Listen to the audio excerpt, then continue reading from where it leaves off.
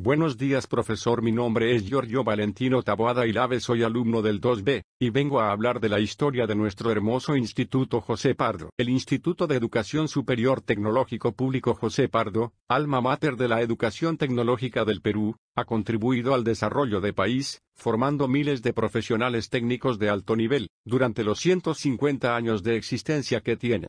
Fue creado el 23 de octubre de 1848, por el presidente Ramón Castilla, como Escuela de Artes y Oficios.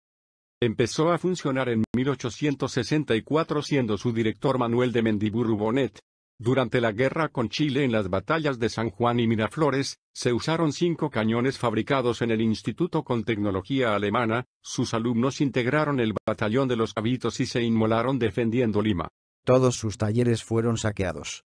En 1903, durante el gobierno de Manuel Candamo, el Congreso de la República dio una ley ordenando se reinstale el plantel bajo la vigilancia del gobierno.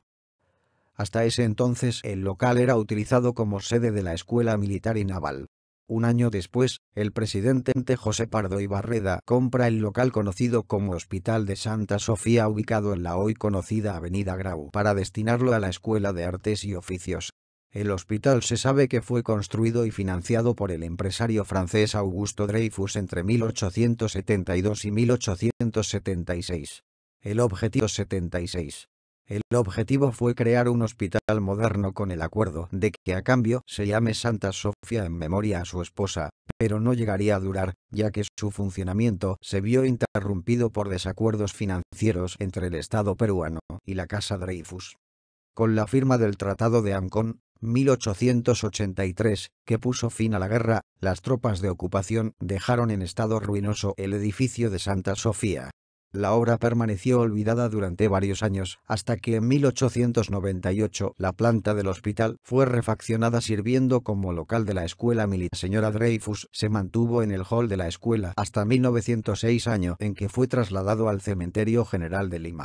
El 24 de septiembre de 1905 se inauguró la Escuela Nacional de Artes y Oficios contándose con la presencia del presidente José Pardo y autoridad. La dirección de la escuela fue asumida por el ingeniero Pedro Paulet, pionero de la astronáutica y de la era espacial. En el transcurso del tiempo, la institución recibió diferentes denominaciones. En 1945 pasó a llamarse Politécnico Nacional y en 1951 Politécnico Nacional José Pardo. Pardo, y desde 1983 se convierte en Instituto Superior Tecnológico Público José Pardo. Actualmente se dictan las carreras de mecánica automotriz, mecánica de la producción. Gracias.